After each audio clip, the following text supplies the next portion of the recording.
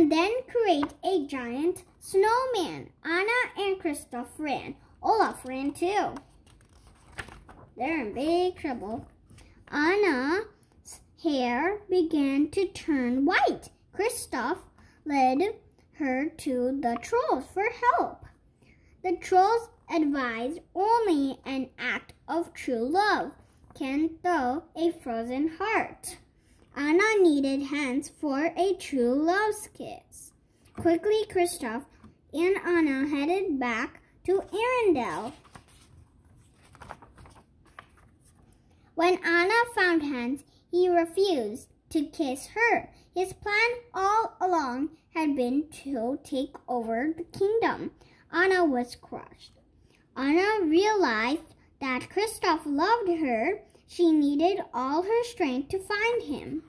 Meanwhile, Elsa had returned to Arendelle to save her kingdom. But now she was in terrible danger. When Anna saw Hans, she knew what she had to do. Anna saved Elsa. It was an act of true love. True love between two sisters like me and my sister. Soon the ice melted and Anna realized she was in love with Kristoff. As for Elsa, she became queen again, a good queen who had learned from her sister that love was the key to control her powers.